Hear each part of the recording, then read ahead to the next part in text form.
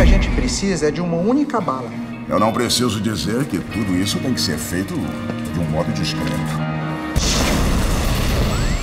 Rio de Janeiro, 1963. Paira um clima de conspiração sobre a cidade maravilhosa. Essa atmosfera pré-golpe militar dá o tom de reis e ratos. Nós temos um outro contexto agora. Nós não temos escolhas, embaixador. Então eu pensei em fazer um grupo de personagens fictícios que estão numa antessala. Pessoas da direita ali, meio canalhas, sedutores, mafiosos e eles estão por ali fazendo pequenos joguinhos e tramoiazinhas. Esdras, tudo que eu quero na minha vida é poder trabalhar de pijamas, ir à praia e tomar meu chopp com colarinho em paz. É, era um tom bem peculiar, né? É... Eu quis fazer uma brincadeira com um misto de uma interpretação é, baseada nos atores americanos dos anos 50, americano, que todos atuavam assim, né?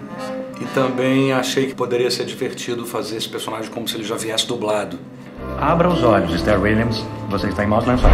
O Rony é, uma, é exatamente isso. Ele, ele é peça fundamental para esse quebra-cabeça, mas ao mesmo tempo ele trabalha no submundo, né?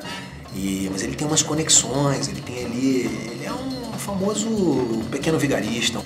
O que está acontecendo aqui é que vocês querem uma coisa grande.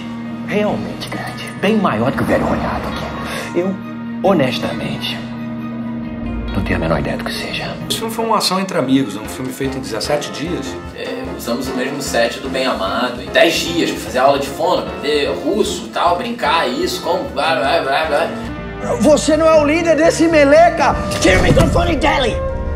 Ninguém vai calar a minha voz.